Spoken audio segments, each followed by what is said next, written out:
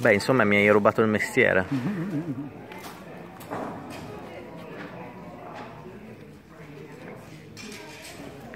Eh, non vale, non posso pubblicarlo questo, se no sfiguro.